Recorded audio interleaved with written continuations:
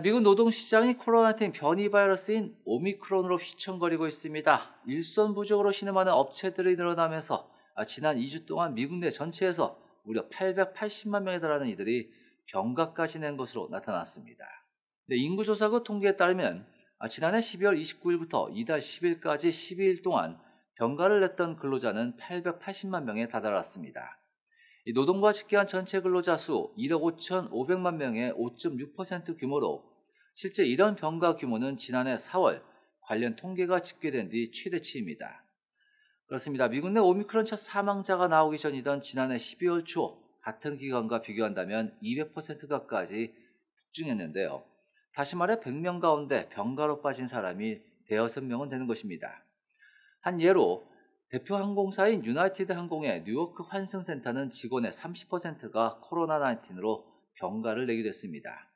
이 병가를 낸 이들뿐만 아니라 또 휴가를 간 인력들 그리고 회사를 그만두는 퇴사자 등 자연 감소분까지 합친다면 노동력 부족 문제는 이제 그만큼 보다 심각할 수밖에 없다는 지적입니다. 그렇습니다. 병가에 휴가에 특히 퇴사자까지 늘면서 지난주 신규 실업수당 청구 건수 역시 지난해 10월 이후 최고치를 경신했습니다. 결국 기업들로서는 인력이 부족하다 보니 직원을 잡기 위해 울며 겨자 먹기로 인건비를 올려야 되는 입장입니다. 아, 비용 상승분을 제품이나 서비스 가격 인상, 자 이것은 이제 그대로 우리에게 돌아오고 있는 물가 상승입니다. 그렇습니다. 이처럼 인력난으로 시작된 것이 물가 상승으로 이어지고 결국 이는 인플레이션을 악화시키고 있다는 지적입니다. 또한 이런 환경에 적응하지 못하는 영세업체들은 결국 도산의 운명을 맞고 있습니다. 영세업체들의 도산, 이는 결국 미국 경제가 오미크론 등의 악재로 성장률이 낮아질 수밖에 없는 분석이 당연히 나올 수 있는 부분인데요.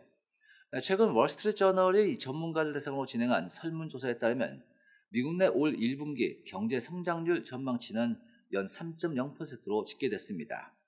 지난해 10월 조사 때만 해도 4.2%였는데 크게 줄은 것입니다. 바로 치솟는 물가에다 오미크론에 따른 노동력 시장의 구멍까지 발생하면서 경제의 압력이 보다 더 커지고 있다는 이야기입니다.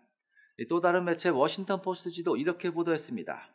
미국 경제가 회복의 전기를 맞이해야 될 새해 초부터 노동시장에 커다란 혼란이 초래되고 있다고 전한 것입니다.